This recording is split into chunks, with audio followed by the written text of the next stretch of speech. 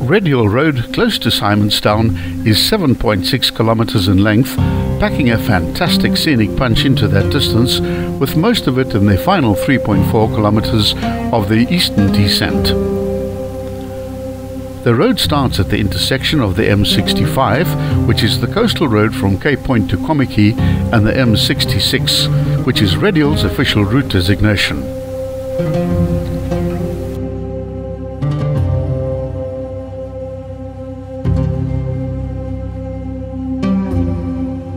The road plays host to one of Cape Town's favourite long distance road running races, the 36 kilometre long Red Hill Race. The road contains over 30 corners, bends, and curves, which include no less than six hairpin bends, four of which occur on the eastern side of the mountain.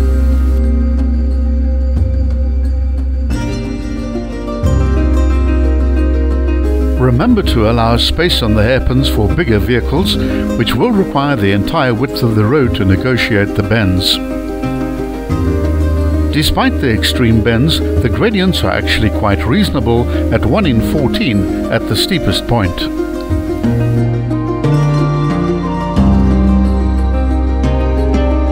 From its western start, the road begins its climb immediately, passing an informal settlement on the left.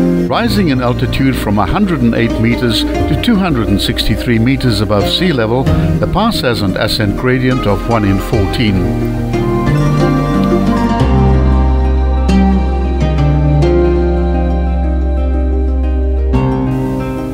The informal settlement, also named Red Hill, has approximately 400 makeshift households.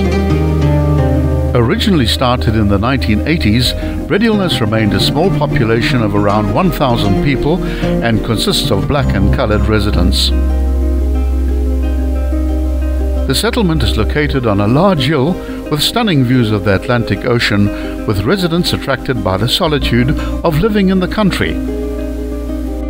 The summit point of 259 meters above sea level is named Mount Pleasant and it's reached at the 2.6 kilometer mark where sweeping views of the False Bay coastline come into view.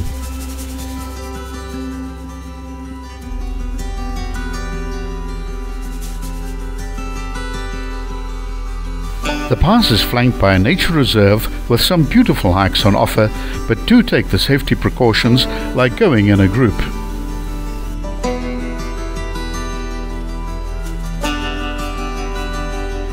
Reaching back to around 1650, Simonstown boasts a wealth of historic and strategic interests.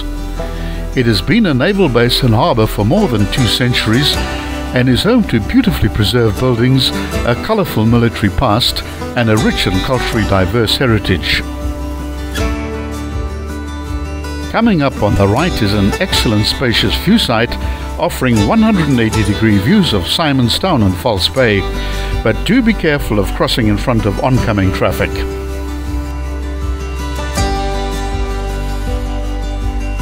The part which Simonstown has played in maritime strategy is inseparable from that of the Cape of Good Hope and South Africa as a whole.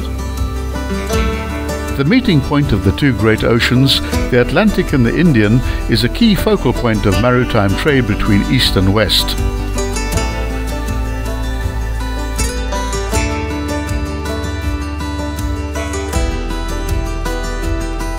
Be sure to watch part 2 of Red Hill Road.